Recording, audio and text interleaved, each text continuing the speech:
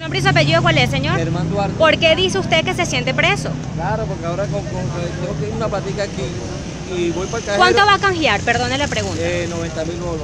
¿Y eso a usted le va a alcanzar para qué? Bueno, no sé, ahí veré. Estirarlo hasta donde pueda. ¿Qué vamos a hacer? Nicolás Maduro dijo ayer en cadena nacional que está entrando ya en vigencia el billete de 500 bolívares. ¿Usted lo ha visto ya? Bueno, él lo mostró ayer por televisión, pero yo nunca lo tiene en mi mano.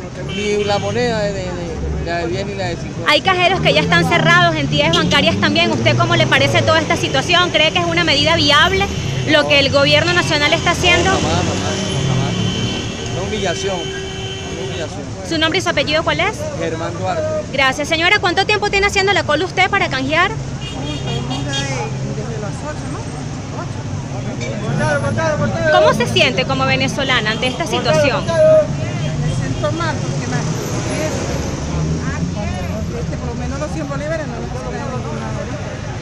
Uno va a comprar una cosa y, no puede, no acepta. Hasta ayer que aceptaban esos 100 bolívares. ¿Su nombre y su apellido cuál es? Dame, Carmona. Gracias.